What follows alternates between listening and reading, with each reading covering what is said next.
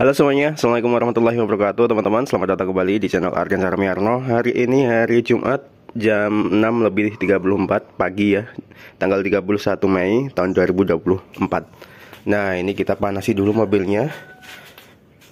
Setelah ini saya mau ajak mobil ini untuk nganterin anak imunisasi teman-teman. Pagi-pagi ya.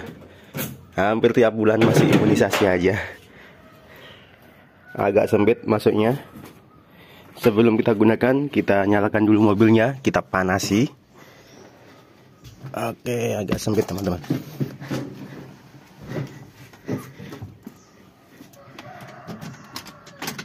Nah, ini udah on indikatornya.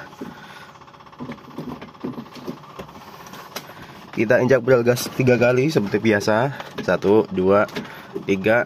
Lalu kita putar kunci kotak. Tidak ada cengengesan sama sekali. Mobil sudah hidup. Jam 6 lebih 35 menit.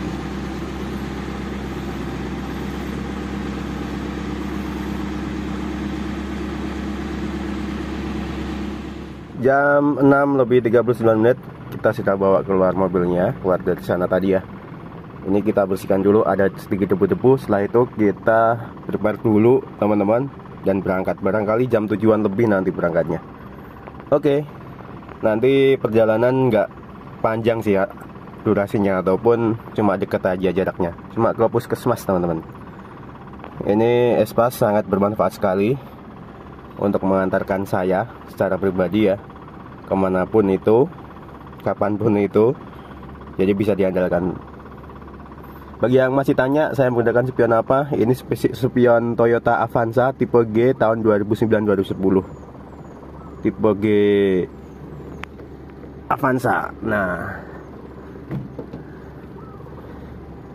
ini ada lubang 3 1 2 3 kita bor gitu. Teman saya bor. Yuk kita bersihkan dulu mobilnya dari debu-debu. Jam 7 lebih 12 menit teman-teman. Saatnya kita berangkat yuk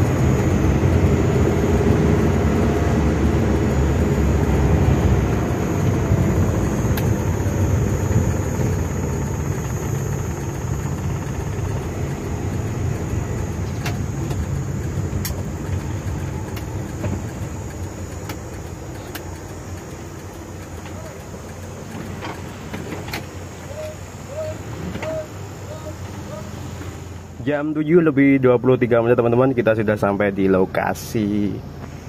Puskesmas udah rame banget tuh Puskesmasnya. Tuh segitu ya. RPM stabil. Nih naik dikit. Belum nyampe garis ya. Kita matiin yuk. Oke kita tunggu Antrinya. Ini sebetulnya bakalan antri lama teman-teman. Oh, imunisasinya itu banyak banget antriannya. Ini padahal belum dimulai nih. Belum dimulai pemanggilan. Jam 7.30. Ngajam dulu di espas walaupun nggak ada AC-nya. Ini ada kipas nih. A few moments later. Jam 9 lebih 29 menit 30 menit teman-teman. 2 jam lebih kita di sini. Antrinya lumayan karena satu kecamatan ya. Kita nyalain dulu. Oke, mobil sudah hidup. Ini kemarin beli kipas angin seperti ini, ternyata sangat bermanfaat sekali teman-teman. Saat kondisi mesin mati, kita bisa menyalakan kipas tersebut ya. Yuk kita berangkat pulang. Terima kasih bagi anda yang sudah mengikuti saya. Kita lanjut pulang yuk. Semoga selamat sampai rumah.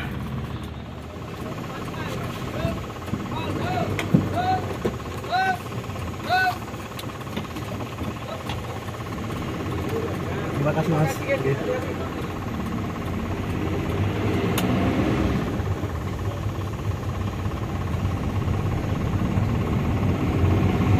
Banyak banget parkirnya yang parkir. Pulang, langsung pulang. Eh, boleh.